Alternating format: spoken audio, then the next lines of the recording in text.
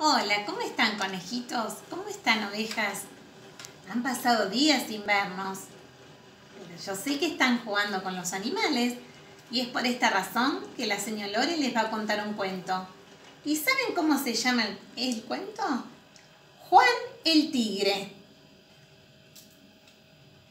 En las noches de la selva se ven dos luces brillantes que en la oscuridad relucen como diamantes.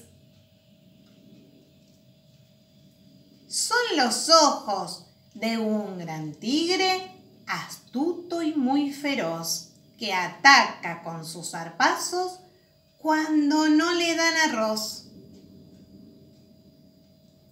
Con sus garras peligrosas y sus dientes afilados, le gusta comer bananas o repollos guisados.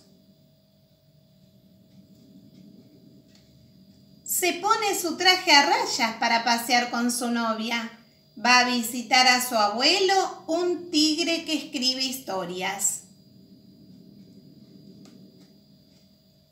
Sentado juntito al fuego, asusta con sus rugidos cuando cuenta el abuelo muchos chistes divertidos. Camino para su cueva, comienza a buscar hormigas porque quiere convencerla de que sean sus amigas.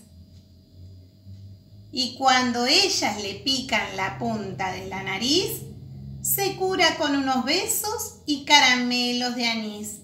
Y escuchen qué contento se pone el tigre.